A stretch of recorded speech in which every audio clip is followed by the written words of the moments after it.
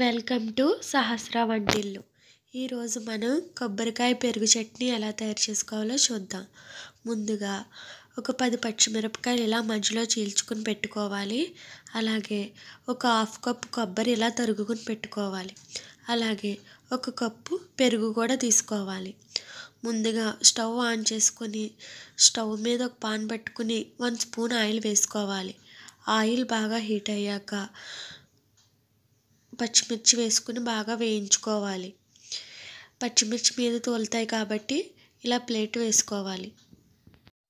మధ్య మధ్యలో ఇలా మూత తీస్తూ కలుపుతూ ఉండాలి. పచ్చిమిరపకాయలు దోరగా వేగాక స్టవ్ ఆఫ్ చేసుకుని ఒక గిన్నెలోకి తీసుకుని చల్లారబెట్టుకోవాలి ఇప్పుడు ఒక మిక్సీ జార్ తీసుకొని మిక్సీ జార్లో ముందుగా కొబ్బరి వేసుకోవాలి. అదేవిధంగా వేయించిన పచ్చిమిర్చి కూడా వేసుకోవాలి. రుచికి సరిపడా సాల్ట్ కూడా వేసుకొని మధ్య మధ్యలో వాటర్ పోస్తూ చట్నీ మెత్తగా అయ్యే వరకు మిక్సీ పట్టుకోవాలి. మనకు మిక్సీ పట్టిన తర్వాత చట్నీ ఇలా వస్తుంది. ఇప్పుడు ఈ చట్నీకి మనం పోపు వేసుకుందాం. ముందుగా స్టవ్ మీద పాన్ పెట్టుకుని రెండు స్పూన్ల ఆయిల్ వేసుకోవాలి. ఆయిల్ బాగా హీట్ అయ్యాక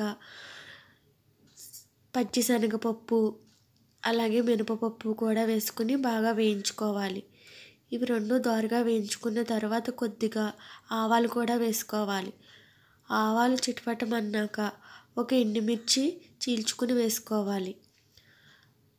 అదేవిధంగా కొద్దిగా జీలకర్ర కూడా వేసుకుని వేయించుకోవాలి.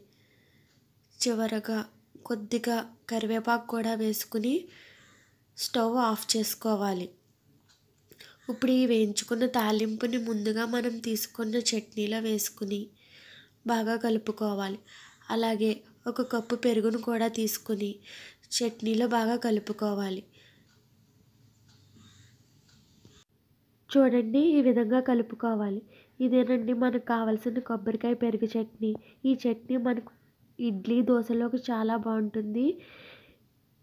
ఓకే ఫ్రెండ్స్ మీకు ఈ రెసిపీ నచ్చినట్లయితే ప్లీజ్ నా ఛానల్ లైక్ చేయండి షేర్ చేయండి సబ్స్క్రైబ్ చేయండి.